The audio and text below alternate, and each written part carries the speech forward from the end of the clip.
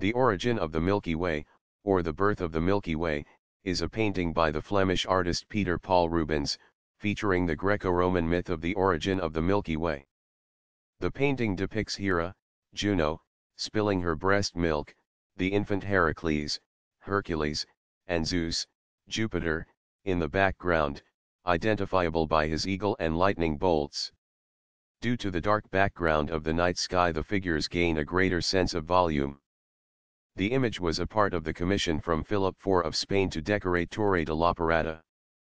Rubens also painted other Greco-Roman mythological subjects, such as Hercules fighting the Nemean lion or Perseus freeing Andromeda.